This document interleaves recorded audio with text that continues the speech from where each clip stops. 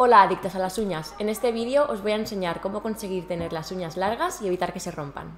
Cómo fortalecerlas, qué aceites usar, cómo limarlas y qué hacer para no morderlas. ¡Vamos allá!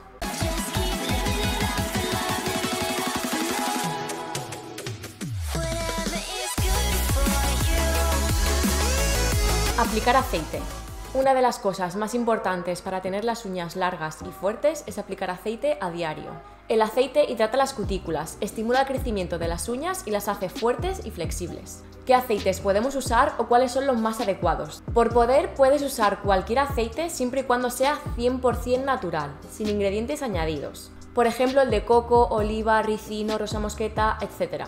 Yo siempre recomiendo el de jojoba o jojoba, como lo quieras pronunciar ya que es el que más se parece al que produce nuestro cuerpo de manera natural y lo absorbe con facilidad. Hay que aplicar una pequeña cantidad, menos de una gota, por la cutícula. No importa si nuestras uñas están pintadas. En caso de no llevar esmalte, puedes aplicarlo por encima.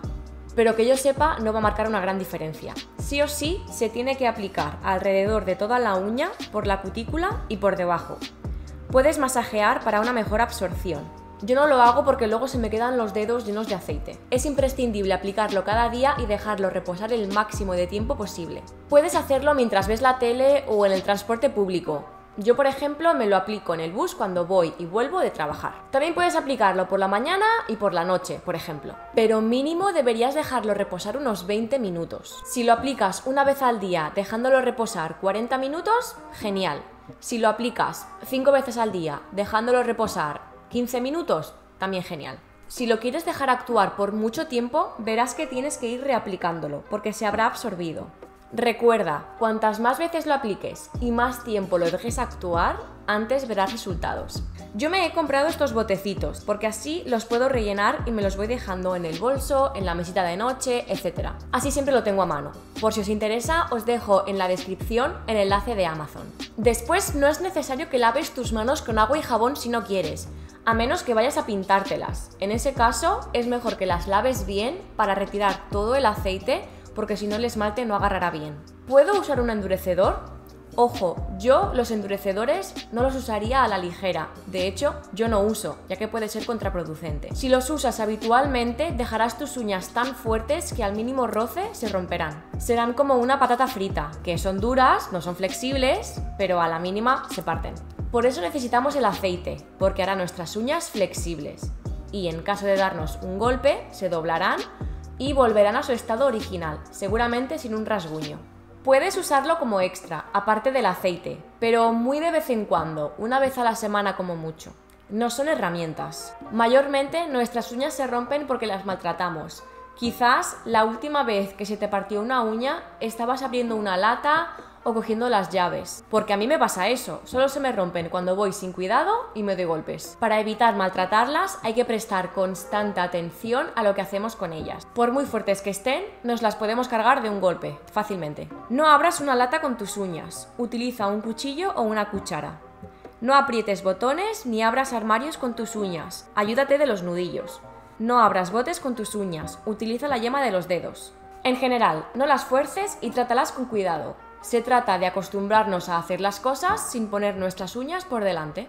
No te muerdas las uñas. Sé que puede parecer de sentido común que si quieres tener las uñas largas, no te las tienes que morder, pero muchas de vosotras me preguntáis qué podéis hacer para dejar de morderos las uñas, ya que es un hábito difícil de corregir que además puede causar hongos, verrugas, infecciones, problemas en los dientes, deformar o incluso perder tu uña. Yo personalmente nunca he tenido ese problema, y es posible que lo que le vaya bien a una persona no le vaya bien a otra.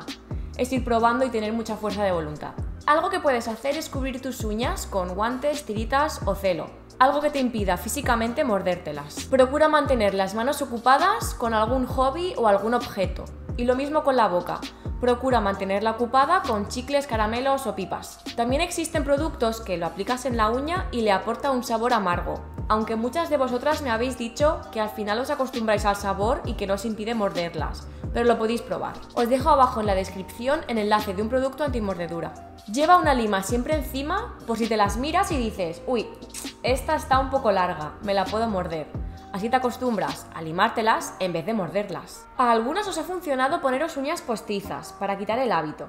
Finalmente, prueba a pintarlas con diferentes diseños, ya que si te pasas horas esforzándote en que el diseño quede bien, luego te dará pena estropearlo. Ten en cuenta que hacen falta 21 días para romper un hábito, así que ten paciencia e intenta darte cuenta de en qué momentos te las muerdes. Por ejemplo, si sabes que te las muerdes cuando te pones nerviosa y sabes que dentro de poco tienes un examen, procura aplicar estos trucos en ese momento. Y sobre todo, recuerda lavar muy bien tus manos para eliminar suciedad y bacterias. Cuidado con el agua.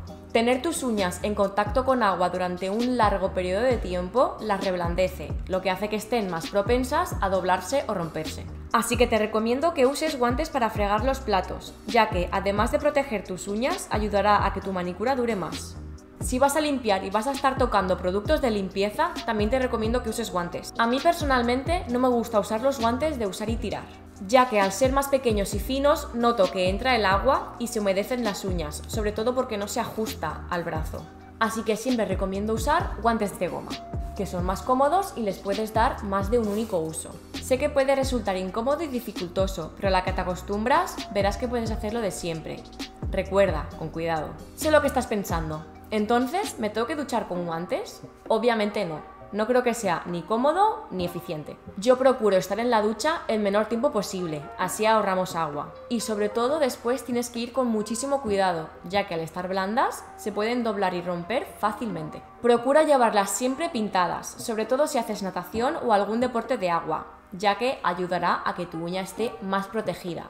Explico este tema en profundidad en el siguiente apartado. Y si tocas algún instrumento o practicas algún deporte, se trata de ir con cuidado en la medida de lo posible y además elegir la forma y longitud más adecuada para tus uñas, la que mejor se adapte a tus necesidades y a tu estilo de vida. Llévalas pintadas. El simple hecho de llevarlas pintadas ayuda a que no se rompan, ya que con el esmalte añades una capa extra de protección.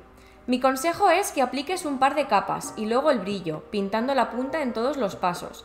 De esta manera aseguras que el pinta uñas no se levante fácilmente. A veces me comentáis que en vuestro trabajo o en vuestra escuela no os permiten llevar las uñas pintadas. En ese caso podéis aplicar un par de capas de brillo o un color nude para que haya una mínima protección. No sé si en caso de pintar también por debajo puede ayudar más o no. A mí me parece más engorroso, sobre todo a la hora de quitarlo pero podéis probarlo si tenéis las uñas muy débiles. La uña corazón de mi mano derecha es la uña más débil que tengo y es la que más me cuesta que crezca. Al final me he dado cuenta de que la mayoría de veces que se me ha roto ha sido por no llevarla pintada, además de haberle dado algún golpecito. No las cortes. Las tijeras y corta uñas hacen que tus uñas se vuelvan quebradizas, es mejor que las limes y te enseño cómo hacerlo correctamente. Tienes que limar tus uñas siempre en una misma dirección. De lo contrario, se levantan los bordes, se debilita la uña y tienden a partirse.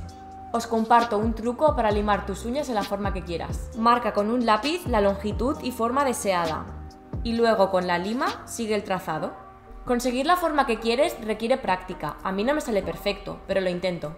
Ten una lima siempre a mano por si la necesitas. Yo siempre llevo una conmigo en el bolso o en la cartera. Yo utilizo limas de cristal, que son fáciles de usar, suaves y homogéneas. Evitan que se pelen tus uñas y contribuyen a que estén fuertes y sanas. Además, no se desgastan nunca. Solo tienes que ir con cuidado de que no se te caigan, ya que al ser de cristal se pueden romper. Este tipo de lima es resistente, higiénica, no deja la uña astillada y deja un acabado perfecto además de servir también para eliminar la piel alrededor de las uñas. Os dejo en la descripción un enlace de Amazon de un pack de diferentes tamaños. Y esto es todo. Si sigues estos consejos regularmente, conseguirás unas uñas fuertes y sanas. Recuerda que esto requiere tiempo y paciencia, tus uñas no van a crecer de la noche a la mañana. Tienes que introducir el aceite a tu rutina diaria y aunque veas que tus uñas se vuelven fuertes, no dejar de echarte aceite. Yo llevo tres años utilizando el aceite a diario. Si dejara de usarlo, no sé si mis uñas volverían a su estado original, pero no lo voy a comprobar. Recuerda tratarlas con cuidado, no darles golpes, evitar el contacto prolongado con agua en la medida de lo posible y llevarlas siempre pintadas. Antes de acabar, me gustaría comentaros que no soy manicurista, no me dedico a esto. Todos mis consejos están basados en mi propia experiencia. Además, hay que tener en cuenta factores como la alimentación, que sea variada y equilibrada ayuda a que tus uñas estén sanas. Y la genética, que juega un papel muy importante. No todas las personas tienen las uñas igual de fuertes, flexibles y resistentes. Si tienes o crees tener algún problema o enfermedad en tus uñas, consúltalo con un médico. Si tienes alguna duda, alguna pregunta o crees que se me ha olvidado mencionar algo, házmelo saber en los comentarios. Si te han gustado estos consejos, suscríbete al canal y dale like al vídeo. También puedes encontrarme en TikTok y en Instagram con el mismo nombre. Vale, listo.